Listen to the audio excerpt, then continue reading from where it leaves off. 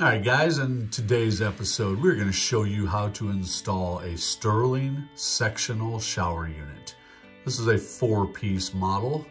That is the base, the two side walls, and the back wall. They are all separate. It is a 36-inch wide by 34-inch deep unit. We're going to show you basically how we did this from start to finish. This here's what it looks like beforehand. We installed a Moen shower valve on this shower unit, but you can install about any brand you want. Those do not come with the shower units. You will have to purchase that separately. So we're just showing you here what the valve looks like in the wall. Uh, we actually install that before we install the unit. Here are some of the tools that you'll need. That shower strainer right there is a brass one. That is what we use, but there's actually a few different models out there. Uh, we'll show you that. That right there is a strainer wrench that's used to tighten down the strainer. You'll need a cordless drill of some sort, a tube of pure silicone. You may also want to use some plumber's putty, but we'll show you later on why we use the silicone as well. And you'll need some wood shims. Basically, the first thing you want to do is make sure you have your drain and the floor roughed into the correct spot. We have already done that part. Um, and we have our two inch drain pipe sticking up above the floor right where we need it. Now Mike is showing you how you install the strainer on the shower base. You know, there are different brands of these shower units. Uh, some of the bases might actually come with a strainer that you just insert the gasket. These Sterling models do not. You actually have to install the strainer. Uh, like I said earlier, we like these brass shower strainers. I'll show you why here later on as he gets ready to put that on. So you want to uh, apply a bead of silicone here around the strainer. Now, you know, some plumbers will use putty right there. Nothing wrong with it. Uh, we like to use the pure silicone. It works well, and we do not want leaks here. You got to realize this shower base is getting installed on this concrete floor. You do not want that to leak. Uh, otherwise, you know, you're removing the entire shower unit and uh, trying to fix that. So from underneath there, you can see he's tightening the strainer on. Basically, the strainer comes with a rubber gasket and a cardboard gasket, as well as that big brass nut to tighten it down. The rubber gasket will go between the base and the strainer. Then there's a cardboard gasket that goes between the rubber gasket and the nut. The only reason you have that is so when you're tightening that nut down, it don't want to pinch the rubber gasket out. It'll actually kind of slide on there. So Mike here is using a strainer wrench. You can buy those at any hardware store, but if you don't want to purchase that and you have a good pair of uh, big channel locks, you can use that as well. Those strainer wrenches are nice to have because, you know, they work on kitchen sink strainers uh, as well. And it's kind of a specialty tool designed just for that. You know, when you're using that pure silicone, you get done, you want to wipe that stuff up right away. It is sticky and messy uh, because it is 100% silicone. So make sure you really clean that up good. Don't wait too long or it'll leave a sticky residue all around the base of the shower. Don't worry, some of you will probably do that anyway, but you know what I mean. All right, we're gonna install a shower base here shortly, but first thing we wanna do is sweep up all the debris out of there, right? Might as well have a nice clean work job site there while you're at it.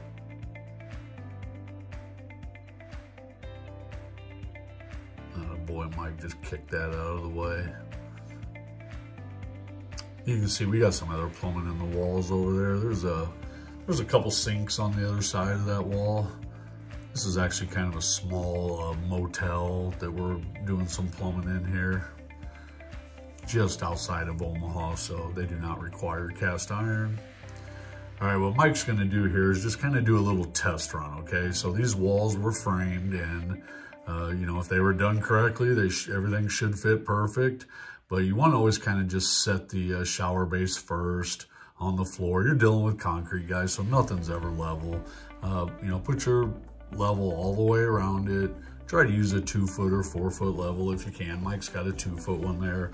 Looks like maybe that back corner is just a little bit low. So he's just kind of getting an idea here of, um, you know, what it needs to be. So all right, as you can see there, that piece of pipe stubbed up. Mike just took a pencil and marked it, all right? What he's doing is just measuring how much of that pipe he's gonna need to cut off um, that's sticking up through the floor there. Some guys will actually leave that uh, piece of pipe stubbed up high and set the base and then cut the pipe later with a pair of inside cutters, uh, which is fine to do. You just got to be a little more careful. You know, if you do your measurements right here, you can actually cut this piece of pipe ahead of time. Now, Mike's going to use a pair of inside cutters here just so you can kind of see how they work. But, uh, you know, at this point, you could use a handsaw, a sawzall, anything to cut that piece of pipe. You know, that brass shower strainer that we use, one, it's just sturdy, so we like that. But it'll actually slide over the top of this pipe, and then there's a rubber gasket that later on we'll show you that we install. They do make glue shower strainers, but man, you gotta be exactly precise on your, uh, your measurements and cuts and then basically what you do is put some glue on the pipe, glue on your strainer, and set the shower base over it. But like I said, if you're off just a little bit, uh, it's a pain in the butt. So that brass strainer there makes it a lot easier. Once you cut that, uh, Mike was just showing you there with this pocket knife. You want to ream, you know, deburr the piece of pipe. You want all the little shavings and stuff off. You want a nice smooth piece of pipe sticking up there. All right, so you're gonna need a bag of mortar mix. Uh, I don't think we showed that in the beginning. Uh, our bad, man. We forgot that part. You want to use pure mortar mix. Don't get a, you know, a gravel, a sand topping concrete. Uh, you don't want any of those small pebbles in there. You want this stuff to be, you know, pretty smooth. I have seen over the years, some guys use drywall mud uh, to do it. I've seen people use, you know, that expanding foam that they'll spray under the showers. Man, guys, I'm telling you, we have installed hundreds, if not thousands of these units over the years, and mortar mix just, to us, is the way to go. What it does is it provides a good solid base under the shower base. You know, you gotta remember these shower bases are plastic. When you stand in there, you don't want that flexing at all. Uh, plus, if your floor isn't 100% level, you know, you can mix some of this stuff and put down and kind of use it to level up your shower base. When you get that base installed, you want it as level as possible. Take the extra time to make sure it's level. So here Mike's is just mixing up some of that stuff, right? It's, it's just like mixing up cake batter or something, right? You don't want it too runny. You know, you'd probably rather err on the side of it being a little bit more dry. Um, you know, if it's too runny, it's just going to run all over the floor there. So you can see here how he, you know, made it pretty good. Uh, like I said, not not too moist, right? How many of you hate that word moist? I I do. I don't know why, but all right. So anyway, get this stuff here just kind of spread out across the floor. You know, you can also use this stuff to kind of seal in that hole there. You know, the when we had the floor broke out, if you're wondering why we didn't pour the concrete back right up to the pipe, is you want to leave yourself a little bit of room for error. You got to remember when we put that drain in, those walls were not framed in yet. Um, so you never know if the framer is going to be off, you know, even a half inch, uh, inch or so is too much. So by not pouring back the you know, the concrete all the way around that pipe, if you had to dig down and move your piece of pipe over even a half inch or something, you can do it without having to break up the floor. So, but when you're done, you want to kind of seal that back up underneath there. You don't want no bugs crawling up out of that dirt. So he's just kind of showing you here, you know, you want to be careful. That strainer that's on the bottom of that shower base is going to stick down below the floor a little bit. So that's why he kind of, you know, is moving the concrete away from the drain pipe, if that makes sense. This is kind of fun to watch, right? Right there. I can just hear it in my head, that sound of that ch ch ch. All right. So now that we got that, uh, the mortar base set in there, he's going to go ahead and set the shower base in there. If he did everything right, uh, you know, that piece of pipe's going to be cut perfect. You gotta remember, guys, this is a professional licensed plumber here who has done this an awful lot. Take your time, measure stuff out, you know, don't get in a big rush. You gotta remember, once these shower units go in, you do not want them coming back out because there'll be drywall all the way around it and everything else. So there you can see how that piece of pipe uh, just stubbed up just perfect. He's kind of going around the base, just smushing that mortar mix in a little bit underneath there. Now this here's the part where he's gonna take his level and go all the way around. We want that thing, like I said, guys, you want that perfect. The reason is when you go to install these shower walls later, you know, they're six foot tall. If your shower base is a little bit, you know, off level at the bottom, it's gonna put your shower walls really off level at the top. So once you get the base set, you got it level and all that good stuff, they come with these little clips that you mount on the uh, edge of the shower unit there. And that's actually gonna fasten the shower base to the wall. This here's kind of a close-up of it. We like to use these deck screws, galvanized screws. You could probably get away with using, you know, just some black drywall screws, but man, you're, you're dealing with water. We just, we like using, you know, coated screws of some sort. We're plumbers, man. We're just used to doing everything the right way. All right, so once you get this base set here, Mike's gonna go ahead here now, man. Take a piece of cardboard and put over the top of this shower unit here. All right, here's the fun part, guys. These are the shower walls.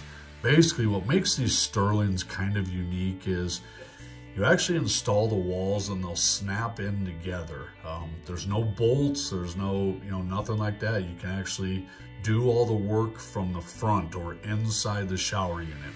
So now sometimes you got to take your razor knife or your pocket knife or whatever and trim where the hooks go together. That's what Mike's doing right here. You got to remember when they make this stuff in a factory, it's not perfect, all right? So you got to kind of shave stuff a little bit and uh, these grooves. You'll see what I mean here later on when I, we show you how these go together here. So this is just, uh, you know, a guy who's done like I said, hundreds, if not thousands of these units. He knows ahead of time that you got to kind of trim these up. If you've ever installed any of these units, if you're another plumber watching this, man, right here, you know exactly what we're talking about. You want these edges to be nice and smooth. Take your razor knife. Like I said, man, nothing's imperfect. You know, these things are made in some factory somewhere and, uh, you know, it's, it's a mold. It's not 100% perfect. It's a plastic.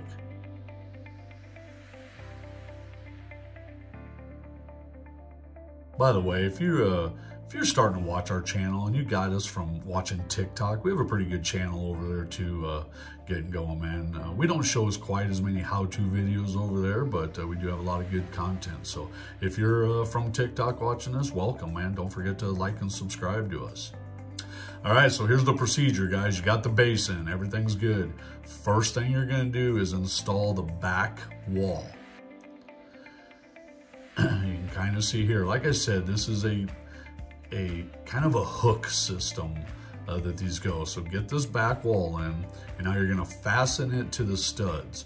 What we like to do is pre-drill the holes with a bit. You know, about a quarter inch drill bit. Um, drill that first Nice and easy, don't, don't push. Remember, again, you're dealing with plastic here. Make sure this wall is nice and level. Like I said, you can see there where Mike Man is just taking his time to do it. Once you get that level, go ahead and put your screws in. The reason we pre-drill is we like those screw heads, you know, to kind of be flush uh, as much as possible. Now, if you don't do that step, is anybody going to notice? Probably not. You know, you might have a little bump in your drywall, but at the end of the day, man, it, it's it's just the right way to do stuff, you know. So try to get those screw heads as flat in there as possible. Again, here's Mike just kind of taking his razor knife and trimming the edge of these shower walls. Getting all that excess plastic off is what you're doing here. Be careful, guys, using these knives, man. You see Mike's got a good solid pair of, you know, mechanic utility type of gloves on there. So be careful, man. I don't want any of you cutting yourself. What we've noticed about these shower units that we've got in here, man, and trust me, they're all made by Sterling, but, um, you know, some will show up and they've actually got damage to them. They're cracked already, and a lot of that's just shipping. You know, they come in cardboard boxes. It's hard to ship these things. Imagine them coming across boats and, you know, the back of semis getting thrown around. So, um, it happens a lot, but we check them in ahead of time. Now here on these, Mike's actually using a file on his cordless drill just to kind of shave these walls down a little bit. Um, again, you want everything smooth. Sometimes guys, you'll pull these right out of the box and everything slides together perfect. Not always, but all right. So what we're gonna show you here is you actually do apply a little bit of silicone around the front edge bottom of these units. That sticker that's on one of those walls show you exactly where to put it. Don't forget this step right here. It's actually the only part you will need silicone on, you know, other than installing that strainer. That's what makes these Sterling units kind of cool is once you get these walls all in and all installed, you don't need to caulk any of the seams whatsoever. There's actually a channel in them that if water does get down inside, it'll run down the channel of the walls and drain back into the shower base. So, uh, but there'll be a sticker and on the instructions showing you, you know, where to put that little bit of silicone there that I was talking about. All right, here Mike's kind of showing you, we're getting ready to install the side walls. So on the sidewalls will be a couple of pegs and they're going to go in the grooves to that back wall. So you kind of lift the wall up, put the pegs in the grooves, and then you'll just push the walls down. This is hard to video for you guys because, you know, we kind of got to be in the way as we do it, but you'll see there that he's pushing it down and that's what basically locks the sidewalls into the back wall. And you can see there, that seam is nice and straight. You know, and that's from Mike taking time and, you know, cleaning those edges off uh, with his razor knife and that little file and stuff. So, all right, now that you got one sidewall in, you're gonna do the same thing. You're gonna pre-drill a couple holes. So basically there's a nailing flange that goes along the, you know, the outer edge of the walls and that's what fastens it to the studs. Again, he's just pre-drilling here, so when he puts his screws in, the screw heads sit flush a little bit. Remember guys, these shower units go in up to the 2x4s. Uh, you don't drywall first. The only thing you want to make sure you do is if you are installing these and you have an outside wall behind them, you'll want to put your insulation in first, okay? Uh, otherwise, it's tough to get in, you know, to get the insulation in afterwards. So, all right, like I said, that's called the nailing flange. It's around the front edge and the top of the walls.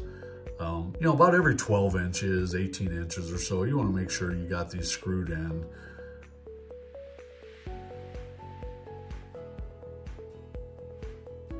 All right, there you go. And you can see on the top edge there how nice and level it is you know, that nailing flange, if you can tell, there's got a bunch of dimples in it. You know, those are just, uh, you know, little places where you can drill or whatever. So now what Mike's showing you here is how to use a shim. So, you know, these studs here, uh, they're not perfect. They're not exactly square. So this is why you might need some wood shims is to level everything out. Put that piece of shim in there and just screw right through it. That's why it's nice. You know, pick yourself up. Those shims cost you like two bucks. Every hardware store carries them. You know, they're usually up by the register. So, all right, so we've got the back wall in and we've got the right wall in in this case. So now we got to put the left wall in. This is the one that has the shower valve installed. So at some point we're going to have to drill a hole you know, in the wall because the shower valve will actually stick into it. So Mike's just showing you again there, you know, more sanding down of the wall. All right, so here, guys, is how to measure, right? Because when you drill this hole in that left wall, you got to be on, man. So measure two, three times, drill once. So what he's going to do is actually measure off of the seam of the back wall here, okay? I can't tell what that is, about 10 inches over the center. We use either a three inch or a four inch hole saw bit. Basically, when you buy your shower valves, it's gonna come with that round trim plate, right? The chrome or brush nickel uh, that the handle sticks out of. Basically, you just need your hole that you drill in the fiberglass to be smaller than that trim plate. So Mike's measuring, you know, up off the bottom, measuring off of that right wall. Now he comes over to the side wall He's gonna measure again here and he's gonna make a mark on it. Remember guys, don't rush this part, okay? Because if you drill the hole wrong, yeah, you're, you're going and buying a new wall kit. And unfortunately, the two side walls come together, so you actually have to buy, buy both walls, so. Believe me, guys, man, we have drilled holes in the wrong spot before and had to buy a new wall kit. So that's what I'm telling you you know, triple check your measurements. Basically, at the end of the day, you're just trying to figure out uh, where that center mark of that valve is. Like I said, Mike here's using, I can't tell what that is. You know, it's either a three inch or a four inch hole saw bit. There's guys that probably use those multi-purpose tools to cut this. Uh, you don't want to force this in. You know, just take your time, man. Get it started. Nice and slow. See how he's doing that there? Don't rush it.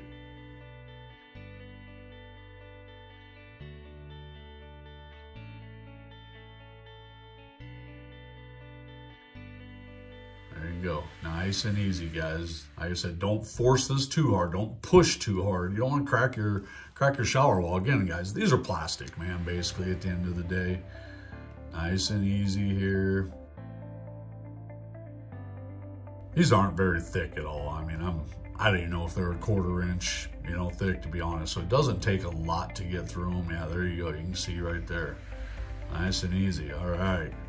Well, if he did everything right, you know, that's the moment of truth coming up. So, all right, on this wall, he's putting the other silicone bead. Remember that orange sticker I talked to you about earlier. Just put a little bead of silicone. That's on top of the shower base right there. Now he's gonna bring this wall over and again, there's the pegs on the back of the wall. Now this one's just a little bit more difficult because you got the shower valve in the way. As You see there, that's a great shot of the peg and how they slide into the hooks of the back wall.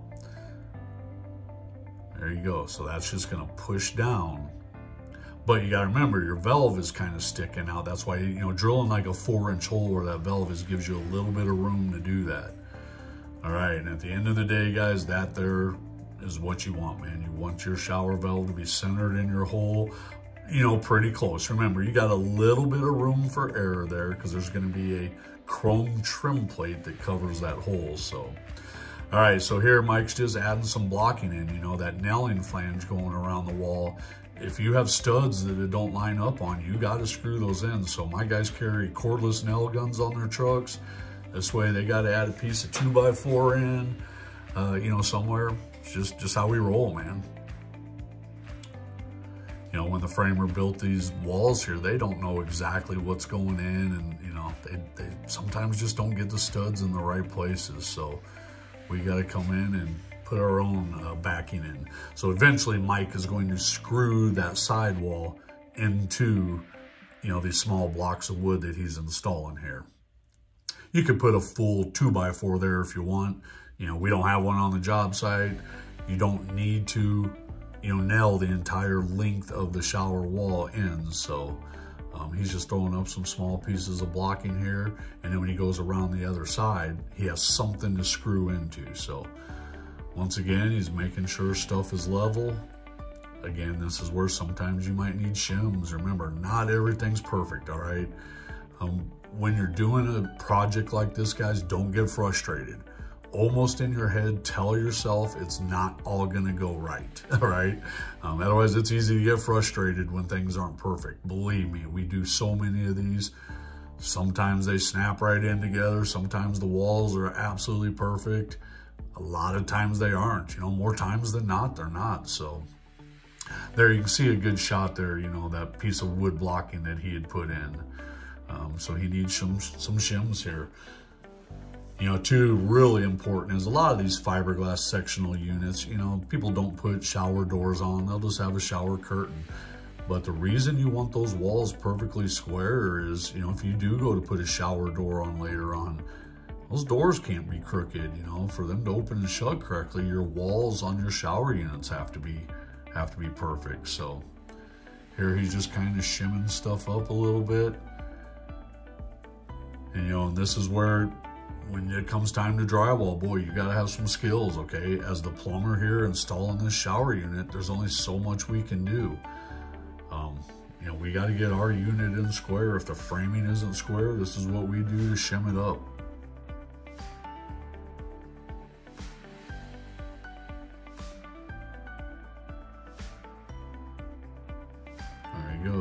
Some more screws in. You always want one in the top corner of each side. You know, and then like I said, about 12 inches down or so, you know, have a screw in. So, all right, once he gets it done here, uh, Now he's gonna come back, he's gonna show you how to put the rubber gasket in the strainer. Basically, it's a it's about the last step you need to do on installing this unit here. Get everything nice and clean, all right? Wipe it down. You don't want a bunch of little debris, you know, sitting in your shower there. So, all right, so we're gonna take our pure silicone, right? We're just gonna go around the edge of that pipe like that. Fill that little void up in there between your shower strainer. You know, you don't have to do that part but again, we don't want this to leak, okay? So it's just an extra step we take. Now, if you see the rubber gasket, this comes with that shower strainer. See how it's beveled on one end? That bevel side will go facing up, right? So that rubber gasket's gonna push down in there. Remember, bevel side up. That's just kind of squishing down in there and that silicone you put in there just kind of fills the little bit of a void. Again, it's just kind of an extra step we like to do. Take a flat screwdriver and you want that gasket pushed all the way down. It'll only go so far. The strainer, you know, the bottom of it is kind of cupped, so you're not gonna push the gasket through. All right, the strainer then comes with this little uh, locking nut right here. You can see the inside of that strainer is threaded. So you just kind of tighten that down and basically that's what's gonna squish that rubber gasket down. And it'll come also with this little silver tool here. I think Mike's gonna show you here in a minute. Because now you need to kind of tighten that little brass nut down that went on uh, the inside there.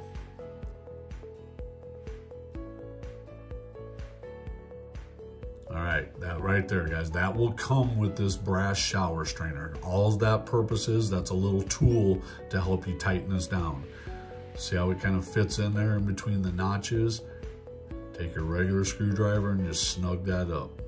Now, if you lose that tool or if you want, you can actually take a you know, regular screwdriver and a hammer and just kind of tighten that nut down you know, as well here. But this is the proper way to do it. That's the whole purpose of this tool is so that you can snug that nut down on the inside there. You know, Mike's got a screwdriver here that's, you know, squared off also, you know, on each side so he can take his crescent wrench then. You want that pretty snug. You gotta remember, man, that's where water's draining down, you know, so you don't want that to leak. When it's all said and done there, that's a good close-up shot right there so you can really see what's happening there.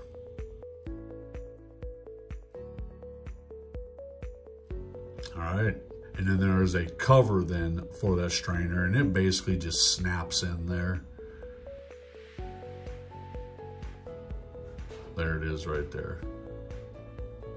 It's got some tape on it. You can leave it on for now. You know, if you're still doing doing the job, got some construction going on, but that just pounds down in there. It'll snap in there, okay? All right, that's what it looks like when it's all said and done. You want that nice and flush. So you step back and take a look. There you go, there you have it. Again, this is a Sterling Ensemble shower unit. They make this in different designs. And guys, there are all kinds of different styles of them out there. This is just showing you how to install this one, but it gives you a pretty good understanding on how a lot of these shower units install. So, um, you know, now that we're done, you'll put uh, your shower trim on and you're good to go.